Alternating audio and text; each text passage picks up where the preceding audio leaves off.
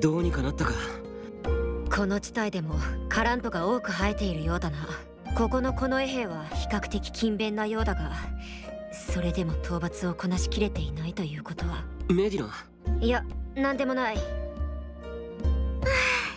みんなお疲れ様。それじゃまた村を目指して歩こうか。皆さんは先に行ってください。いどうしてだ？えここにもこのような魔獣がいるということは他の村にも被害が波及する可能性があります。アリスもしかしてセルカたちやルーリットの村が心配なのか？ですので魔獣の討伐を行ってから私は村に向かいます。我も行く。デュソルバート殿も来てくださるのですか？うん。それじゃあ俺も魔獣の討伐に行くよ。カラントを切れる代表として結構この辺り広いしさ。数人ずつに分かれて魔獣を倒しながら村を目指した方が効率いいだろそうだね。じゃあ僕もキリトと行くよ。分かった。私たちもこの辺りの魔獣を討伐するわ。明暗ね。村に先に行って待っておくより直近の問題をみんなでとっとと片付けた方が良さそうだわ。よーし。じゃあ師匠たちよりすっごい魔獣倒しちゃうからね。お手柄をあげて聖騎士になります勝手な行動は許さんぞ。はいはい分かってるって。師匠は心配性だもんね。そういうわけでは。心配じゃないんですか？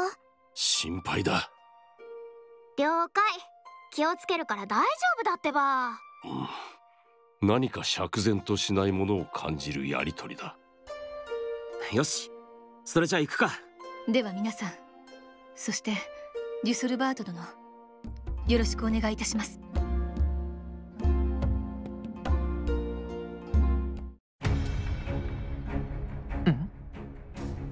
ああ。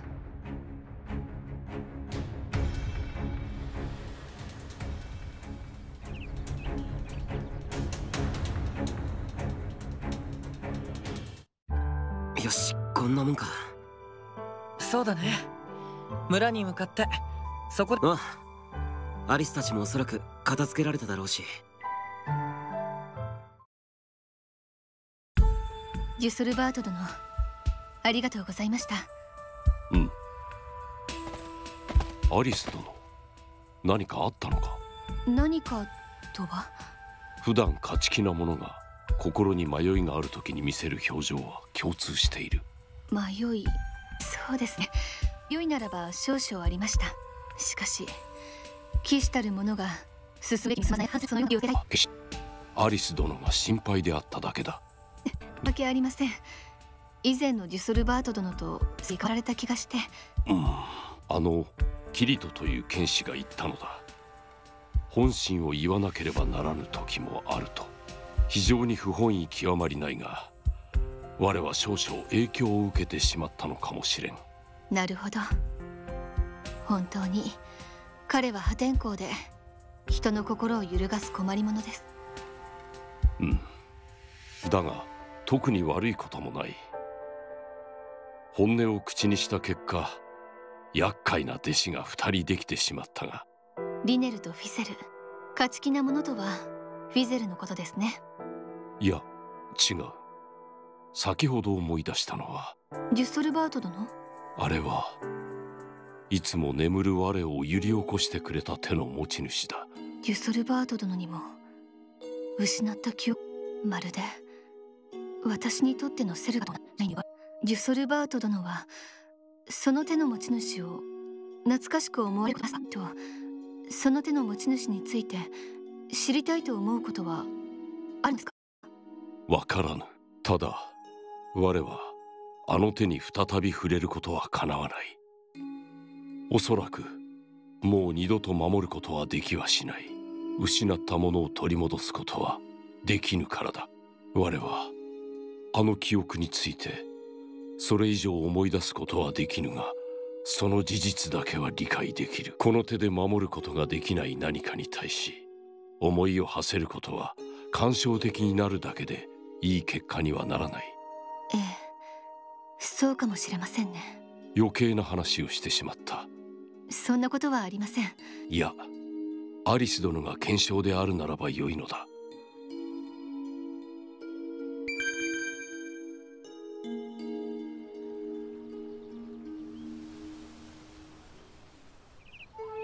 任せろ。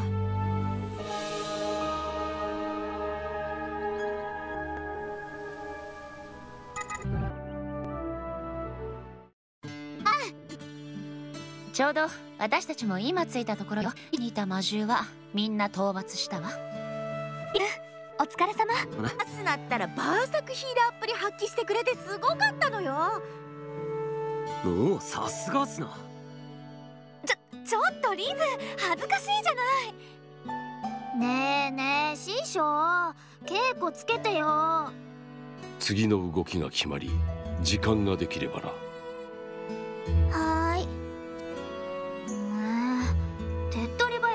く聖騎士になれるような指導してって頼んだのに。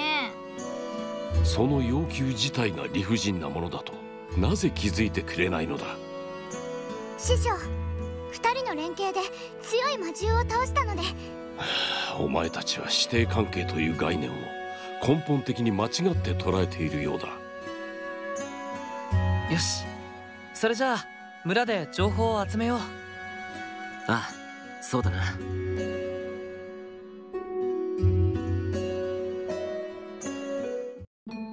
体どうして？えっとそれで？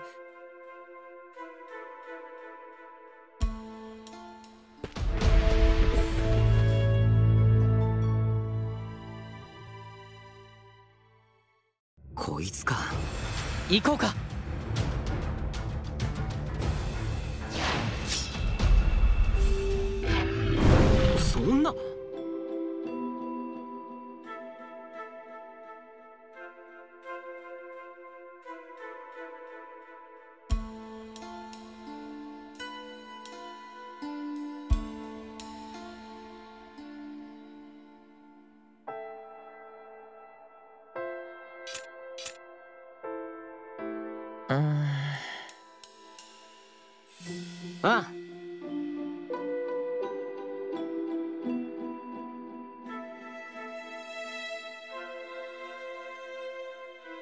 そして再び魔獣の情報収集のため村へと戻った。いいですか？はあ。うん。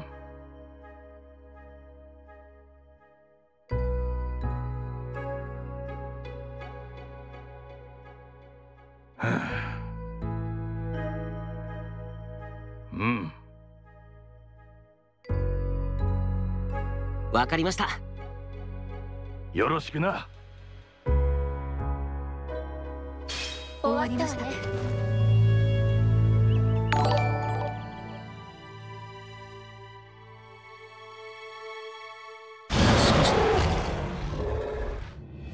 きっと手強い相手だ。大丈夫かな？行くぞ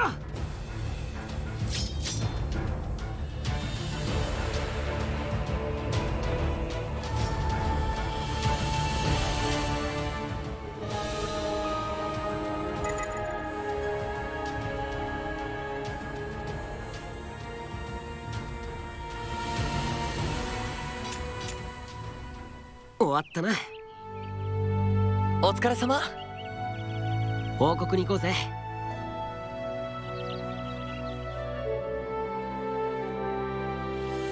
俺たちは魔獣の討伐を終えたことを村の住民に伝えた。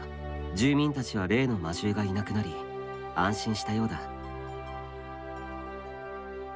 ありがとう。どういたしましてそして俺たちは再びいなくなった子供たちの情報収集に戻ることとなった。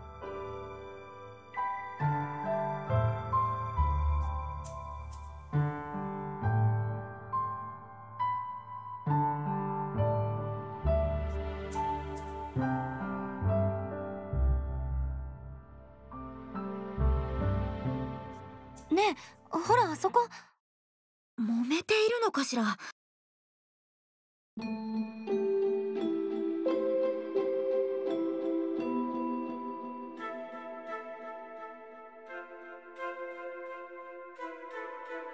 一体何の騒ぎですか？あああ。この衛兵と？あんたらは知らなさそうだな。行方不明。ああそうだな。ではこの衛兵の捜索でも子供が見つからないから。いや騒ぎの理由は少し違うんだ。実は行方不明の子供を探してくれるよう彼らは一向に応じてくれなくてね。業を煮やした村人がこの衛兵に詰め寄っているのさ。なぜこの衛兵は村人の求めに応じないのでしょうか？わからない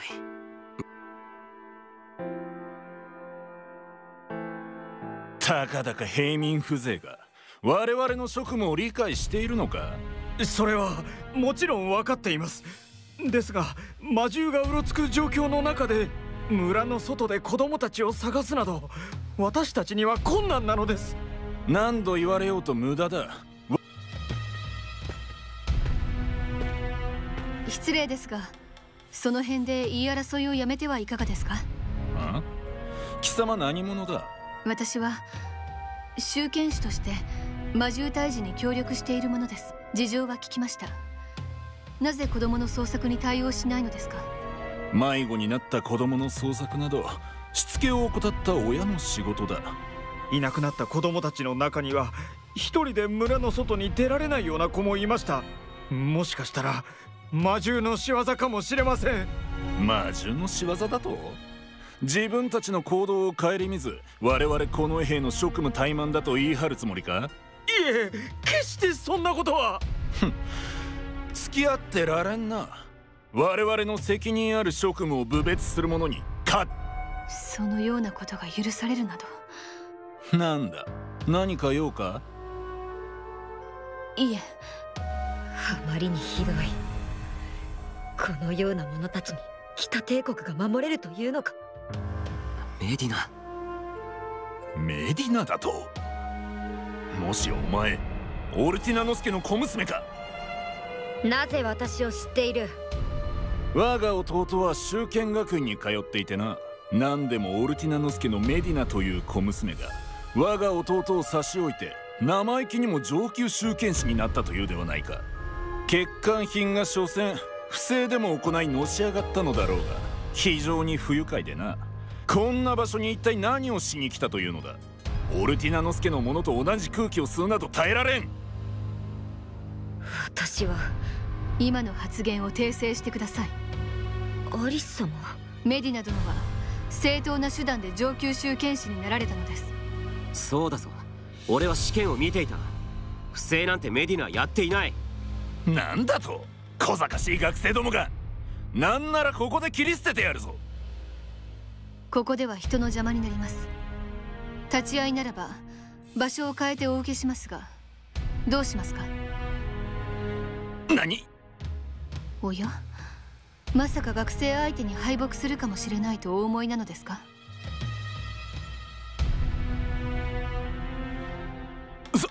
そんなわけはなかろう。私は多忙ゆえ相手をしている暇がないのだまあいい。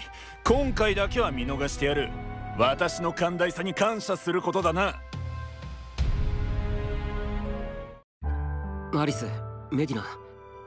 おそらく以前の自分ならしかしそれでは貴族としての地位を盾に村人を愚弄したあのもアリ様。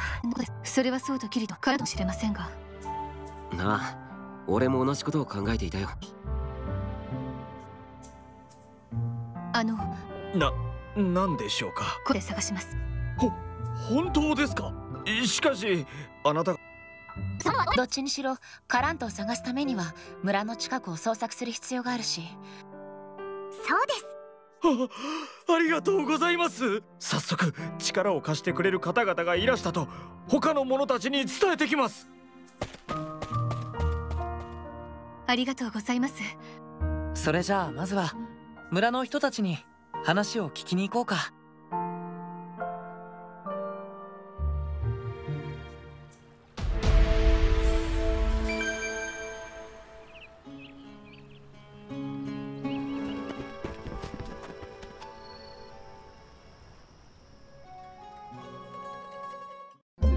少し話を聞いてもいいですか？あ？なんだよあんたら。ええ実は失踪した子供たちについて調べているんです。おおそうなのか。何か知っていることがあれば教えてくれませんか？ああ手がかりになりそうな情報だよな。何でも構いませんよ。そういえば気になるもんを数日前に見たな。何でしょうか？馬車だよ。馬車ですか。いや馬車自体が珍しいわけじゃねえさ商人の中には馬車に乗ってくるやつもいるからな。ただ俺が見た馬車は貴族のものだったんだ。貴族の馬車？ああ見た目が随分と豪奢でそれに貴族の紋章が描かれていたからな。この村で貴族の馬車を見たのは初めてだったから。貴族の馬車か。確かにルーリットの村でも見たことがないかな。紋章ってことはそこから所属だったり家系なんかを突き止められるかもしれないね。ではその紋章について詳細を教えてもらってもよろしいですか？ああもちろんだよ